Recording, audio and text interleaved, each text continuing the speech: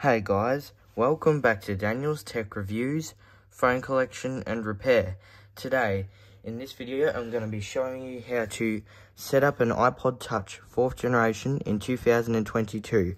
So, guys, um, it does require a Wi-Fi connection, so, um, step one, you have to get an iPhone running on iOS 14 or lower, like um, the iPhone 12 or the iPhone 11 or lower. That's running on iOS 12 and lower, like probably much, pretty much down to iOS 5, where they support internet connections. So, um, yeah, so iOS 15 is not supported due to Apple switching the Wi-Fi networks around, and app and um, Apple ID somewhat sometimes sign in on this um, iPod, but um, Apple is trying to obviously shut down the iOS 6 internet connection. But yeah, I've already connected to my Wi-Fi.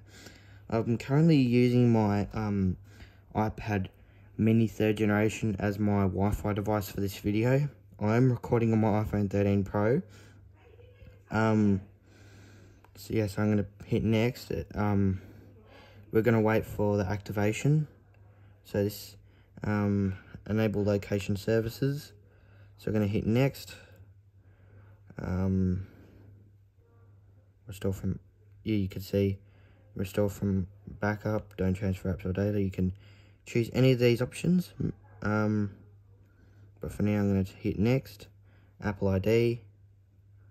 Um, you could set up one if you want, but I'm not going to set up. I'm going to set up later. I'm going to choose set up later in settings. Oh, whoops. I kept on hitting the wrong thing. Set up. Oh, where's set up later in settings? There we go. Set up later in settings. Terms and conditions. You must agree to them. Um, I just wish that um, this iPod had Siri. Share with Apple. Welcome to iPod Touch. And now we're going to get started. So you can see right here, we are now fully set up on iOS 6. I'm going to check the um, check the settings, general, about. Um, we're going to see what software version we're running. Um, where's software version? Ooh, um, 6.1.6, 10B500. Um, so yeah, you can see right here, it's running on iOS, um, 6, 1, 6, 10B500. Um, I'm not sure what gigabytes this is. I'm going to have to read it later on VoiceOver. But yeah, guys, this is how to set up an iPod Touch 4th generation in 2022. You're going to have to hurry up and, if you have an old iPod Touch 4th generation lying around, just factory reset. Um, do set it up right now before Apple shuts down, you know, the network service.